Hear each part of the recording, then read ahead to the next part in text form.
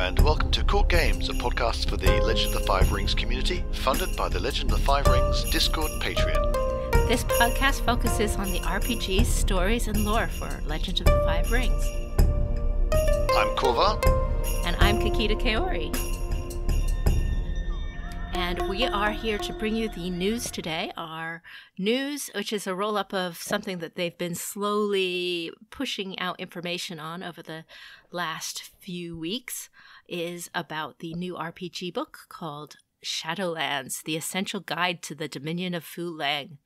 It's a 144 page hardcover book, and it's currently on the boat, and it's due out March 21st from FFG Publishing. Pre order that from the FFG site, or you can get it from your friendly local game shop, which, quite frankly, I always recommend because they should they need supporting. But you do get some nice pre-order bits and bobs from the FFG site, so you may have to have a think about that. At least if you want beautiful pictures of Oni. Mm, I'm I'm not sure those two words those words go together, like beautiful picture and Oni.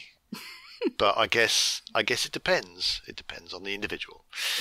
uh, this looks to have a whole heap of awesome things if you're into the Shadowlands. We're going to be getting a map of the Shadowlands territories and also, I believe, the Crab territories with Yes. all sorts of new locations. Like, what are we seeing? Like Fallen Chrysanthemum Lake, False Lantern Grove.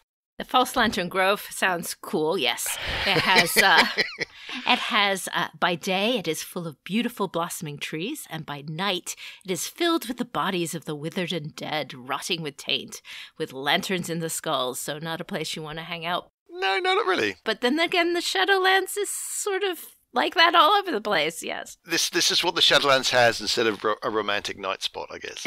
and you may possibly be able to find the tomb of Fu Leng, where no body lies, and those scouts who have entered it have never returned. There is a map of Crablands and the Kaiu Wall. Um, one thing that has stirred up some discussion uh, on the various lists is the fact that the Barracks of the Damned is a whole lot closer to the rest of Rokugan than the Wall is. Oh, One wonders what they were trying to do or use their uh, damned for when they keep them back in there, but we Yeah, will who- find out. who precisely are they aimed at? right. that that is a question. Not something you want headed towards you. Um, however, it has goodies for people who are even not Shadowlands or Crab. There are new schools. It looks like there might indeed be one new school per great clan, and each we would imagine have something to do with Shadowlands hunting, some interaction for hmm. the Shadowlands. The example that they gave were the Moto Vindicators, which were Moto Shugenja trained to hunt the undead, including, in particular, those Moto that were lost to the Shadowlands. If you remember, the Moto went on a large expedition under Moto Tsume to go take care of the problem because obviously the crab weren't doing it and it did Yeah. not go well. Yeah, this is this is way back when the unicorn first returned to Rokugan, and they're all we're awesome at everything, and and no one likes us, so we're going to prove how awesome we are, and we're going to beat up the Shadowlands because we can do that because the crab are terrible, and oh, it went wrong. It went so very very wrong. Yes. Now it's that school works by draining or nourishing the energy in others. So, uh, the, I think this might end up being a sort of version of the Moto Death Priest, which would be very interesting. Possibly, yeah. We're, we're kind of guessing that there might be some others, but if there are new schools for each great clan, probably you're getting the Phoenix Inquisitor, the Asako Inquisitors, looks to be a good possibility. Uh, Mhm. You've got the Scorpion Kuroiban, who've always been very, very anti Shadowlands. And they've been the, the, the Scorpion sneaky Shadowlands finding outing and stabbing people. The, the kind of people who kind of deal with the Shadowlands threat in Rokugan before anyone else realizes it was even there. Yes. But uh, even the Crane have their the Daidoji Iron Warriors, who are quite famous for being probably the largest non-crab force on the wall. Yes, the uh, Daidoji need to pick up their enduring tactics to hold out with smaller Mm. forces against the lion, and so they train with the crab. They also expand, of course, and develop the crab clan families, the Hida, Kaiu, Kuni, Hiruma, and Yasuki, with history and NPCs and artifacts and story hooks associated with each family. Yep.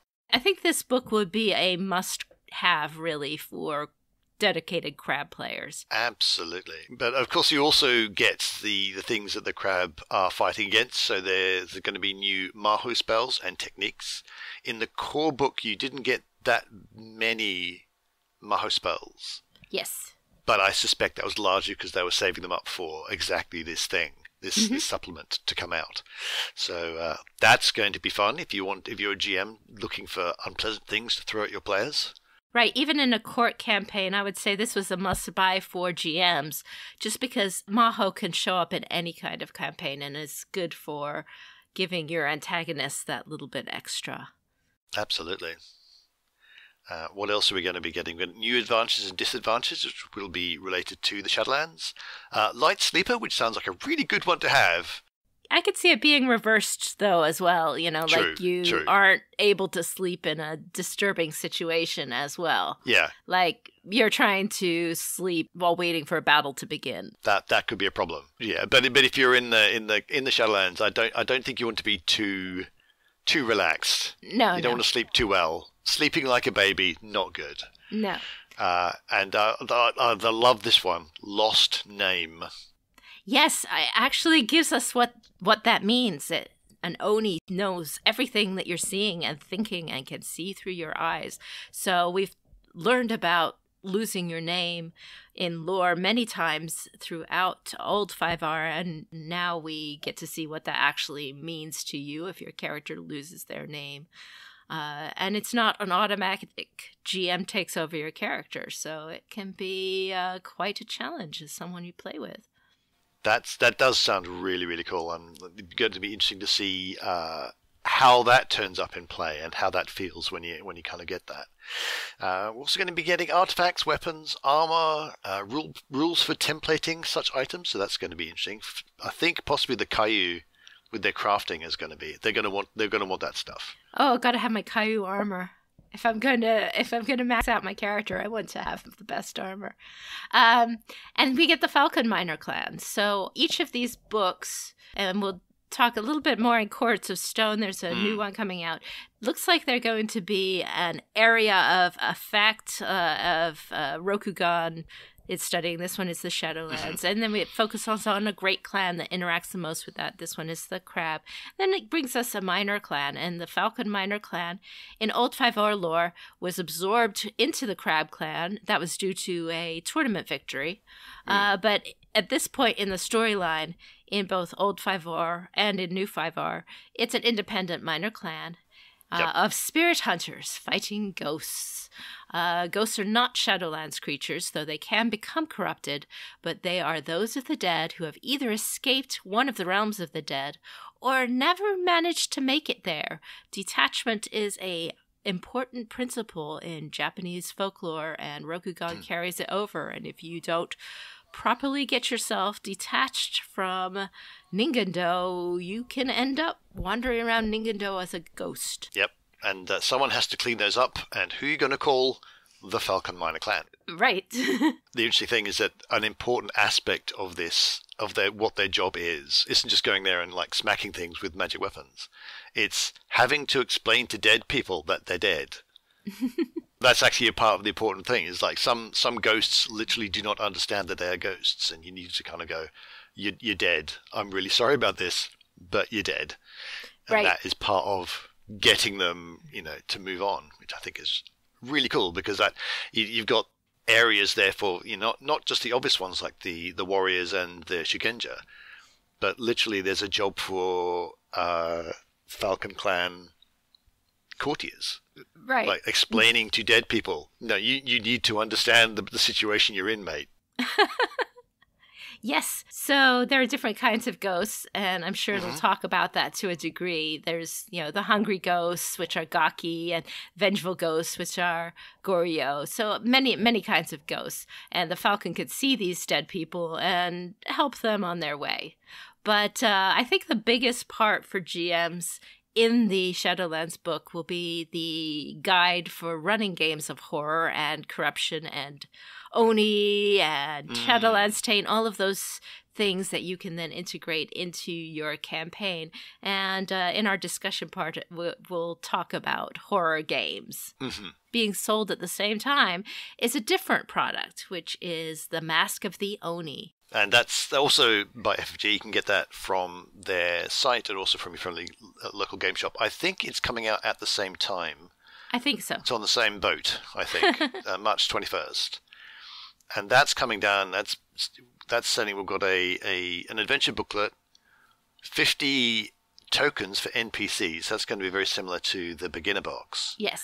And a double-sided fold-out map of the Shadowlands on one side, and the ruins of Daylight Castle, which was the Hiruma Castle that was lost in the attack of the Maw way Mhm. back when. That's when the Hiruma lands were lost and the Kaiu wall had to be built because otherwise all of Rokugan was going to be overrun. It looks like you can go back there and see what's going on and probably be very frightened and run away from things from the sounds of things. That map looks beautiful. And it can be run after Dark Tides, which is the adventure in the GM's kit. And I think they're hunting a blood speaker who runs away to Daylight Castle. And there's some ancient secret. Yes, apparently something that a secret that may uh, help or possibly completely ruin the Hiruma family, and I'm kind of interested to find out what that is. I do like that you can use them as part of an ongoing campaign, but also that you don't have to if you don't want to. I think that's a, a, a good strategy for them to be taking. Yeah, I think that Mask of the Oni is only for the GMs, and only if you plan on buying it, it's not as must buy as the Shadowlands book. More pogs are nice. Mm. We always like those pogs. So have you have you ever run a horror game? Uh, I have. I've I've run some Call of Cthulhu, which is a dedicated horror game. I don't know how good I was because I'm I'm not very good at keeping a serious tone like you're kind of meant to do with a horror game. Uh, but yes, I have played some horror games in my time.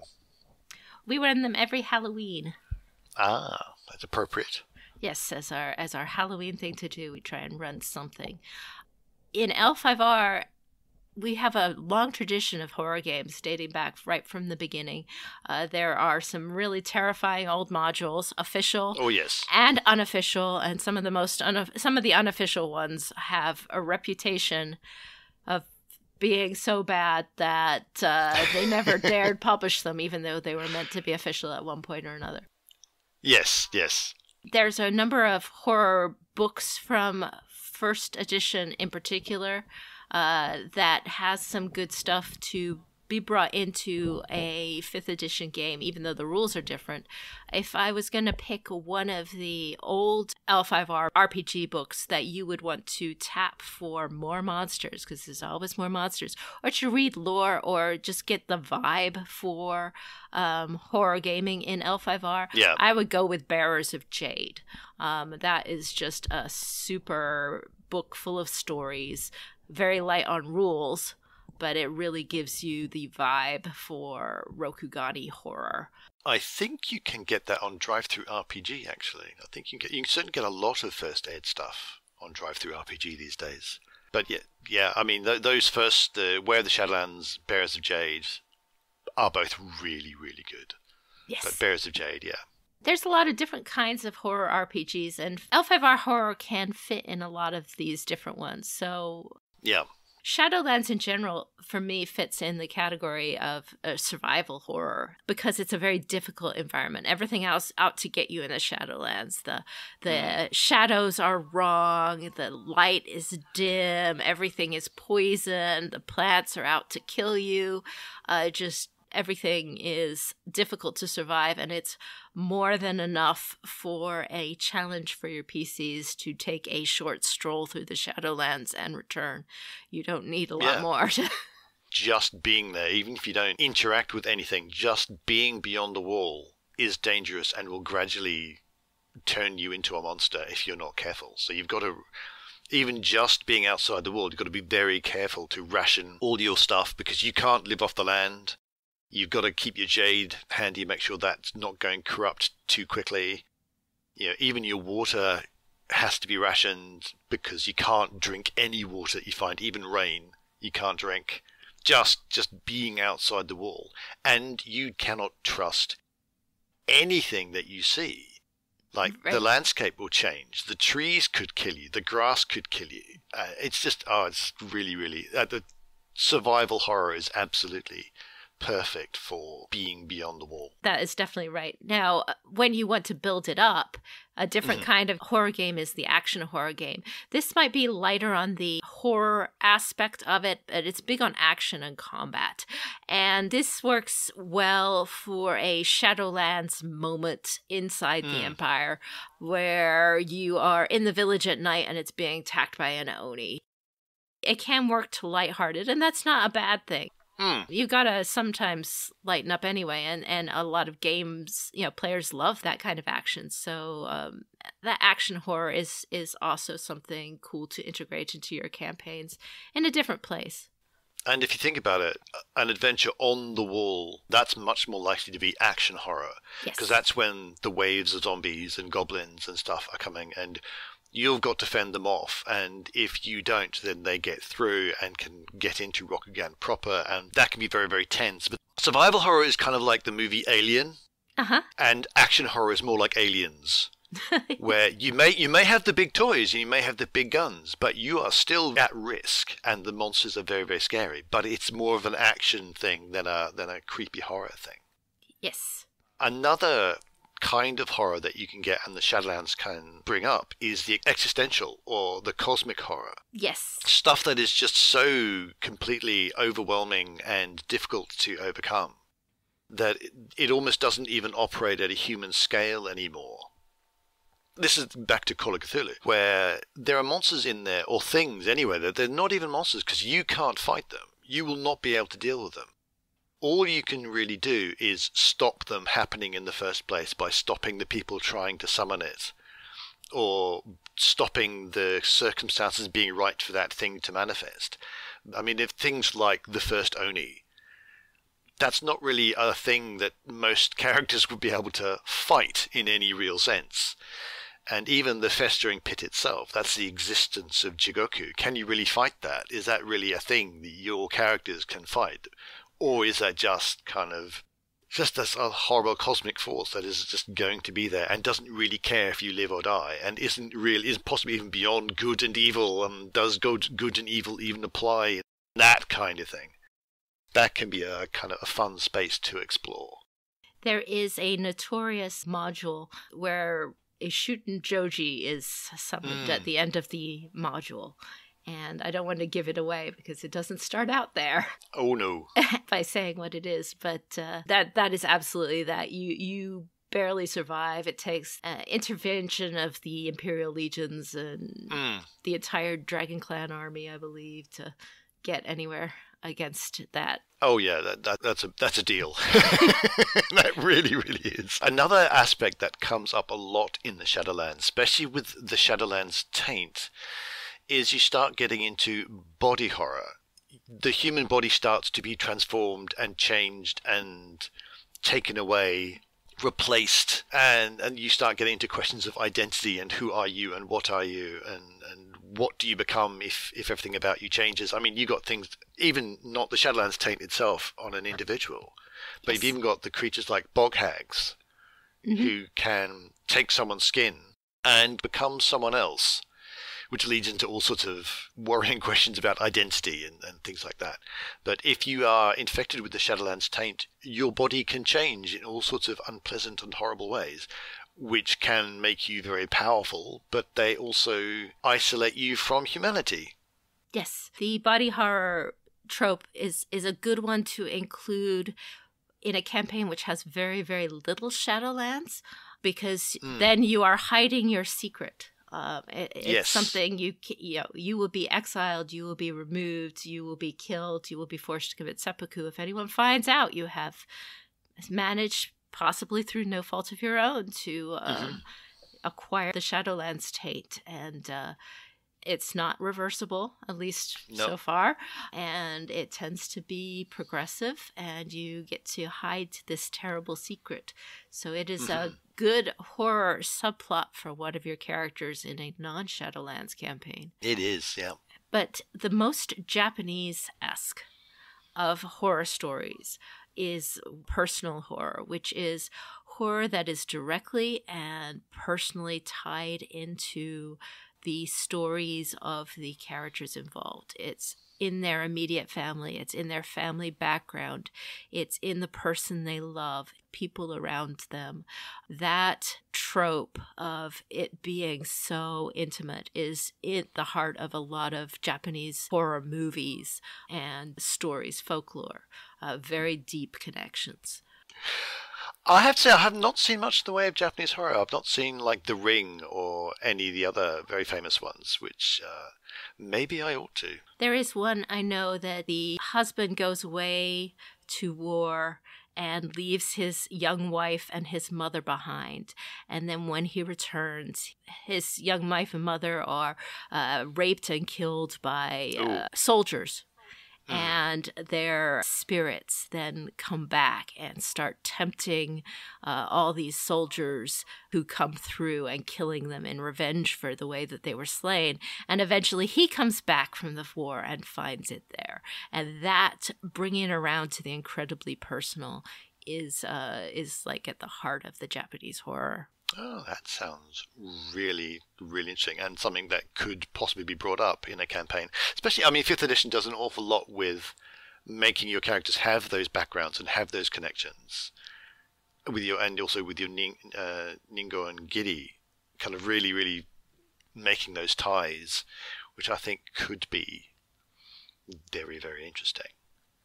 Um, I think there's an aspect when it comes to the Shadowlands and Legend of the Five Rings, where um, there's a question of how how much do you integrate that into your campaign?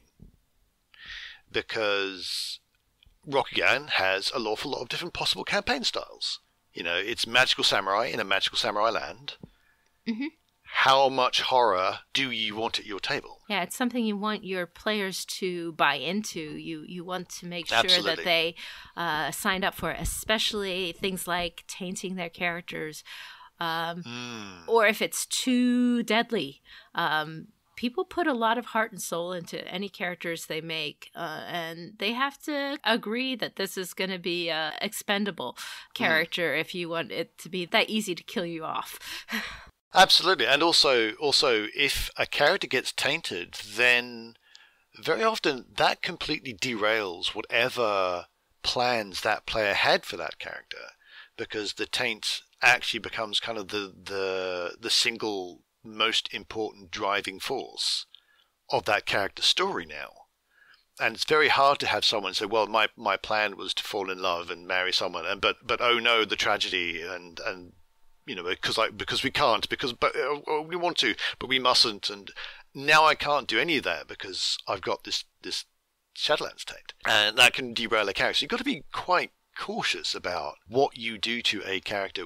certain players have certain things that they can't cope with or they have a hard time with. Uh, we never know everybody else's story, and horror does bring up people's individual lives and their own fears or their own background.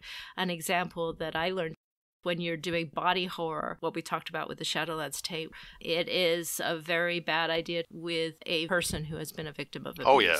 But other things like that, some people get too tense at a high tension Yep. table and turn it into a negative play experience. So you just need to make sure you talk about the different kinds of horror and find out what works for your table. Yes, what what what can people cope with? What can't they cope with? You want a, you want a good session zero, so uh, especially if you're saying, "Oh, this is going to be a Shadowlands campaign," or "This is going to be a Shadowlands heavy campaign," and it's also a good idea to do that kind of thing in general, just in case, because even if you never do any horror elements at all, you can still tread on people without meaning to if you don't at least have some kind of discussion ahead of time. And I would also suggest if you're in a more standard Rokugan campaign, and now we're heading to Crablands, then let's just have a little chat about what we're going to find down there and what you'd be okay with finding and what you wouldn't be okay with finding. Because your Shadowlands campaign, even though it is technically connected to the rest of Rokugan, it's a very different animal, I find. I think that's something you need to be aware of. And so, you know, be be mindful of your other players, be mindful of your own things. Be careful not to make this a negative experience for people because it can be an awful lot of fun and make some really good, intense role playing.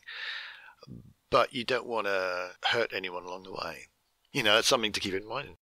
Players, it's okay to ask for a break when the tension gets too bad. Yeah. But some people turn it into a joke when they get tense and that's that does tend to bring it down for the other players but you know go ahead and, and take a break and remember that the goal is to tell a good story so that's always the goal in an rpg Yep. is to work with your team and don't get so paranoid you don't act go mm. ahead and throw yourself in making the decisions you Yep. need to make even if they'll likely be wrong because it's a horror game Let, let's split up and Yeah. Let's let's split up and I'll look in the basement and all that kind of stuff. There's an interesting question I, I think I haven't seen much discussion of when it comes to in, integrating uh, horror into the Shadowlands specifically into Rokugan. Is how compatible do you want your Shadowlands to be with core Rokugan? Because Rokugan has been chugging along reasonably nicely for a thousand years or so, according to the lore. There have been ups and downs, but there haven't been massive Shadowlands invasions.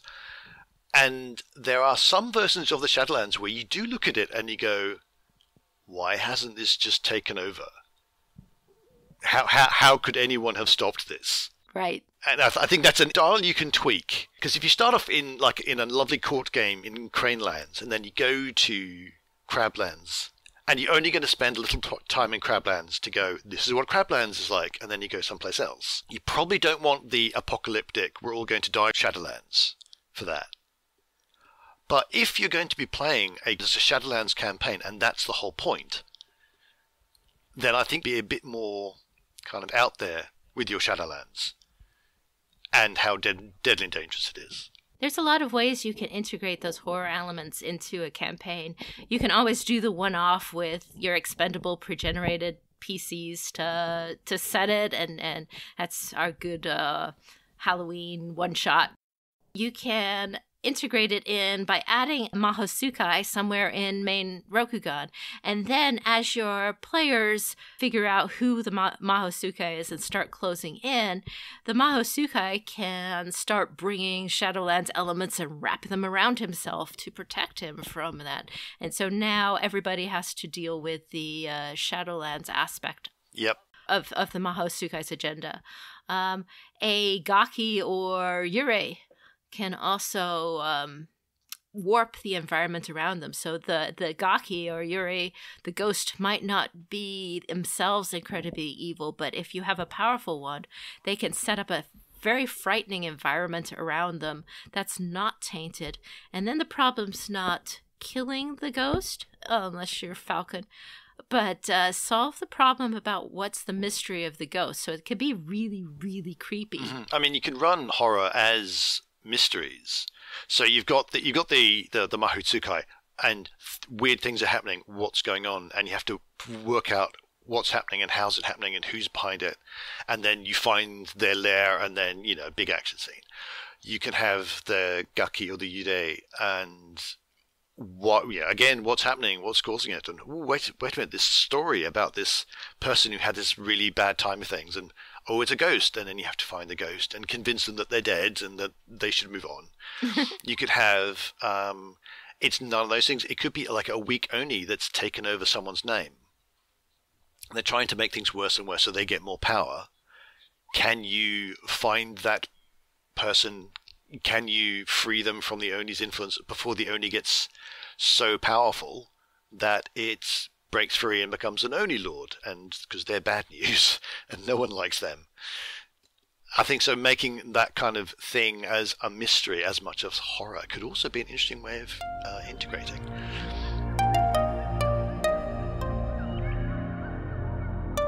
And I think also we need to remember that there is non Shadowlands horror out there in Rokugan.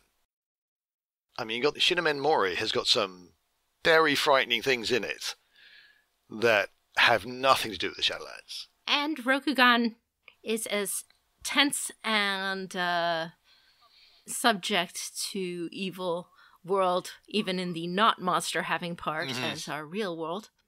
And there are people who are able to be their own horror show all by themselves. That is entirely true. So you can have your entirely human villain operating uh, in in a uh, non Shadowlands campaign, but this idea of bringing in uh, these fearful elements, bringing in uh, the the strange environment, bringing in the personal threats, that's all possible in court. Yeah.